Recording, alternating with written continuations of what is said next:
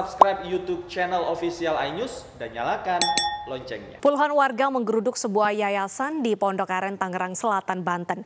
Yayasan ini dianggap meresahkan warga karena kerap memandikan jenazah tanpa izin dan akibat kejadian ini sang penanggung jawab yayasan dibawa ke Mapolsek Pondok Aren.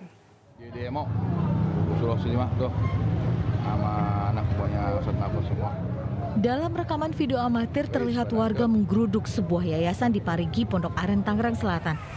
Aksi warga merupakan buntut dari kekecewaan mereka terhadap kegiatan aktivitas yayasan yang kerap memandikan jenazah tanpa izin.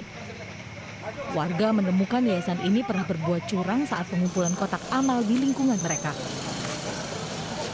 Cara masalah yayasan ini sebenarnya berbadan hukum, cuman apa yang dilakukan oleh saudara Rojak ini mungkin di luar daripada jalur yang harus sepakati oleh masyarakat lingkungan, sehingga timbullah kontroversi di antara masyarakat yang ada.